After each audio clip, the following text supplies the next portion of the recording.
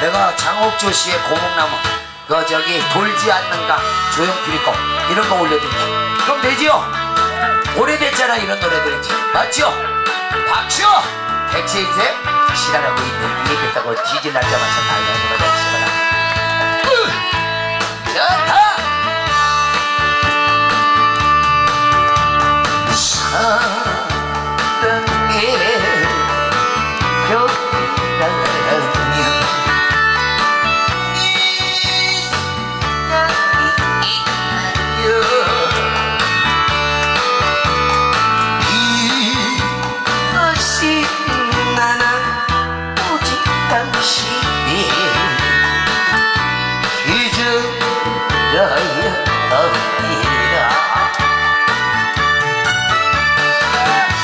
세월 흘러가 젖은 앞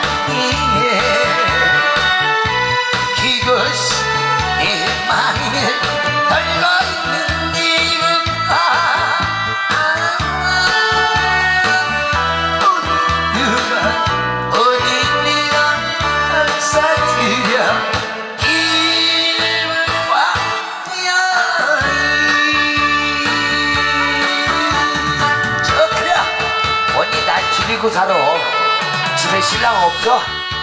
신랑 없어? 그럼 날 기리고 살아 어차피 언니도 유통기가 다 됐는데 뭐 신경 쓸 일도 없는데 자! 저 그래